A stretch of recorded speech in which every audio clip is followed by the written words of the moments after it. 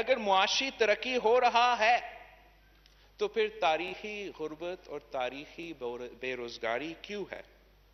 आपने तो आपने तो एक करोड़ नौकरियाँ देने थे। उल्टा जिनके पास रोज़गार था, उनको भी बेरोजगार कर दिया है।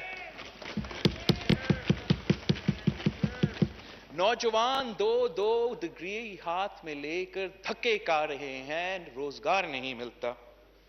और आप कहते हो कि इतना मुआशी तरक्की हो रहा है कि सब के सब खुश होंगे। ना सिर्फ़ बेरोजगारी में, मगर गुर्बत में इजाफा हुआ है, तारीखी इजाफा हुआ है।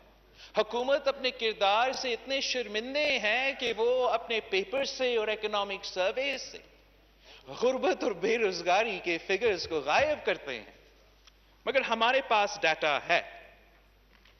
पीआईडीपी के मुताबिक, जनाब स्पीकर जिन्होंने 2015 टू 2016 के इकोनॉमिक फिगर्स को पॉवर्टी फिगर्स को 2018 से 2019 के पॉवर्टी फिगर्स से कंपेयर किया है।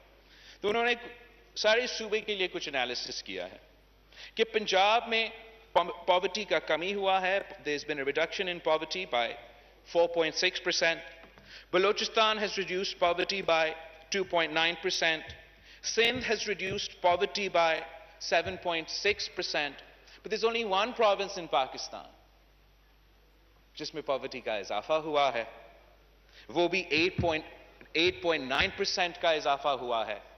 और वो खैबर पुख्तनख्वा है, जो माशाल्लाह आठ साल से वहाँ तो नया पाकिस्तान का हुकूमत है।